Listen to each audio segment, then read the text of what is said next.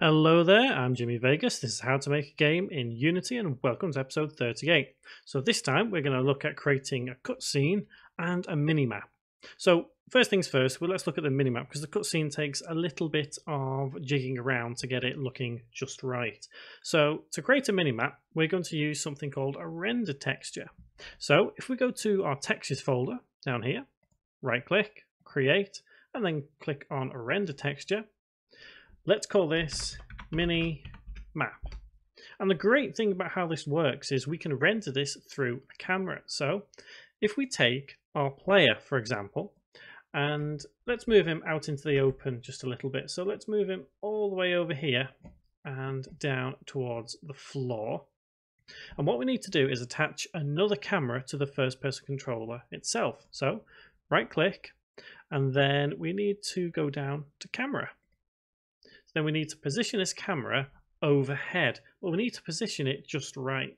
So we need to drag it up on the y-axis and then we need to rotate on the x by 90 degrees. So it's kind of facing straight down.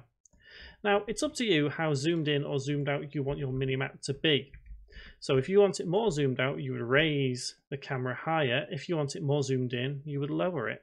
So I'm going to have it about there. Now over here on the inspector panel, we can see that we have target texture. And quite simple, all we need to do is drag and drop this render texture onto that target texture. So what's happening here is whatever this camera sees is rendered onto this texture. And then we can use that texture to render it onto a game object. So if we go to game object, UI, and go to raw image, and let's have this down the bottom right, for example. So we can anchor it down the bottom right, zero out the position, and let's double click.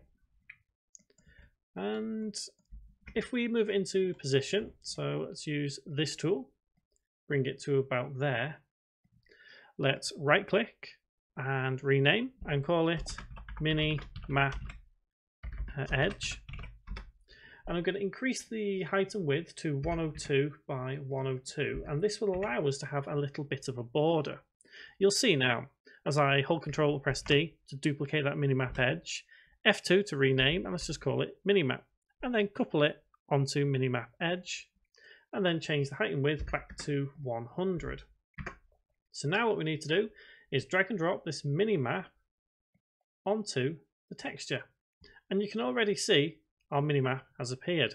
And it really is as simple as that. So if we press play now, you can see where am I? A minimap.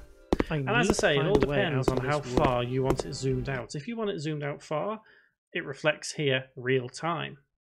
Uh, one last thing we'll do here to make it nice and simple is on the minimap edge, we'll right click uh, UI and we'll have, let's just have another raw image. Let's have this as 2 by 2 and I'm going to colour it just a red colour and this will represent our player on the minimap. So we're always going to be centre. So you can see on the minimap hopefully we have a little where red dot. am I? Minimap real simple. As we're going to get further into this we'll probably deal with this minimap more to deal with enemies and all kinds of different things. So this won't be the last of the minimap now there are different ways of doing it in a round shape or heart shape or whatever shape you want, but you would require a shader for that. There's loads of shaders which would be suitable for a round minimap or any other shape. If you head to Google and just have a quick type Unity shader, you'll be able to find one. So the next thing on our list to do is a cutscene. So I'm going to double click on Winston or whatever you have here, just to zoom us in a little bit. Well, what I think I'd like to do is as we cross the bridge and get to the other side, I'll have a little cutscene which looks at the village. So to do that, what we need to do is game object, camera. And it is fairly simple how to do it. So I'm going to pull the camera to here, up a bit, and look downwards just a little. And the way we're going to do this is via animation. So if we go into our animation folder here, click on animation on the camera, click create. Let's have cut scene 01, save, press record. First frame, we need to set it as it is. So let's retype the rotation on X as 4.24 and the position on the Z, because we're going to move it forwards, is 41.76. So you're just setting that first keyframe. We've dealt with animation before, so I'm not going to go into it too much. But for this animation, what I'd like to do is over the course of, let's say, uh, five seconds, we kind of zoom in and look around. So that's going to be 300th frame. And so by the 300th frame, we want it to be down here and looking about there.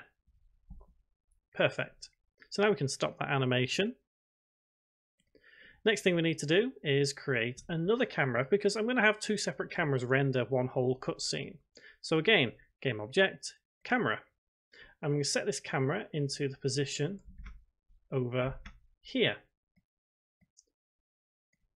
And all I'm going to do is rotate it 90 degrees and just have it pan around by 90 degrees over about five seconds again.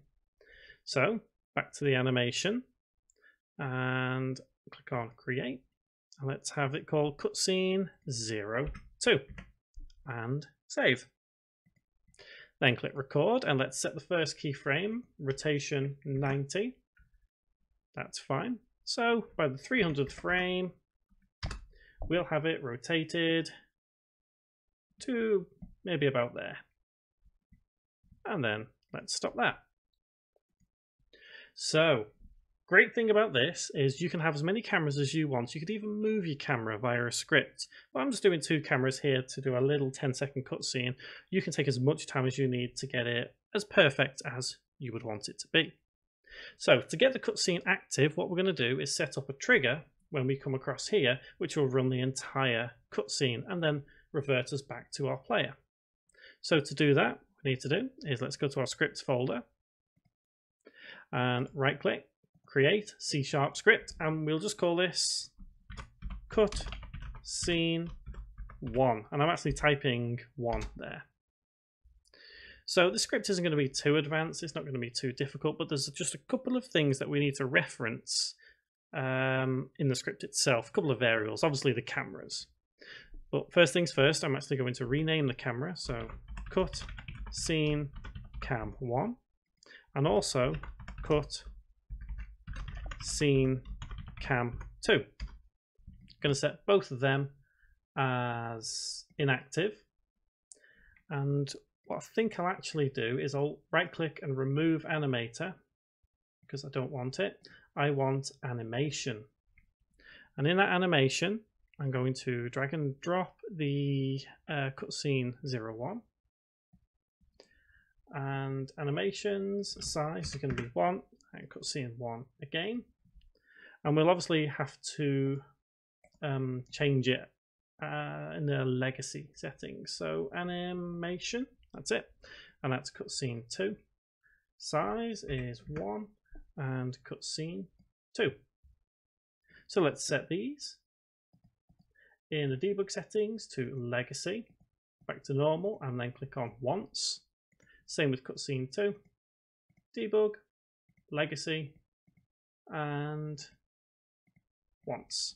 So just to test this, I'm going to enable cutscene cam 1 and disable my first person controller just to make sure this camera plays. So yeah, you can see this is how our cutscene is going to pan out. So first person controller back on, cutscene cam 1 off, and let's get to the script. So it's all going to be done via on trigger enter. So we can get rid of everything within the class so far. And we need to do public game object cam1 then public game object cam2 then we need to do the player so public game object the player semicolon helps if I spell the word public right there and public game object we need to do the canvas because I want the canvas to disappear while we're doing this cutscene so what we need to do is firstly we need to create the enumerator. so the idea of an enumerator, I'm um, not quite sure if I've been through it previously but it's a way of actually being able to uh, use a yield function because we need to wait for, in this case, 10 seconds before we can reactivate. So it all needs to be done via IEnumerator. So I enumerator, and let's call this cut scene show.